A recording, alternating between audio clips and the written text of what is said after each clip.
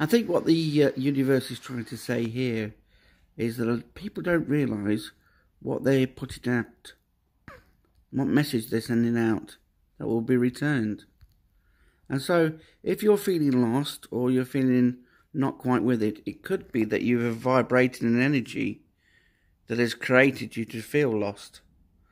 And so, to understand this is to realize that it's so important your intentions, what you're putting out, what are your energy that you're giving to the world, because it will come back. And so, by finding who you are, that you're a pure energy, by finding out that you are, or what you put to that pure energy, you will recreate.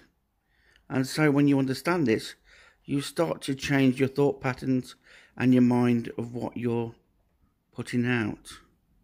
You start to understand how the universe is reflecting or giving you the answers to what you're putting out as well.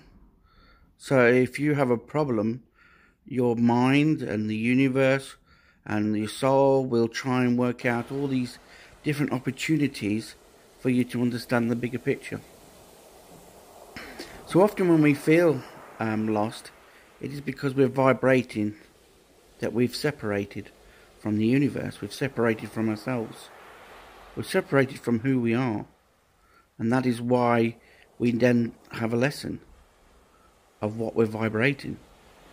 So the mind often gives us thoughts and ideas of what we should do because it's wanting to clear out this negativity that you hold or the lack or the, the non-belief you have that's trapped on the body and that's why we're always overthinking.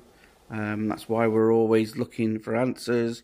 We're always searching to become what we already are. We're already part of the universe. We're already part of the energy that's part of everything. But it's what we feed the energy that it becomes. Just love the quotes. Just love the messages and guidance each day on my spiritual path that I share with you guys. Um, the information or messages that I'm putting out are my interpretation of what I think they're trying to guide me to understand.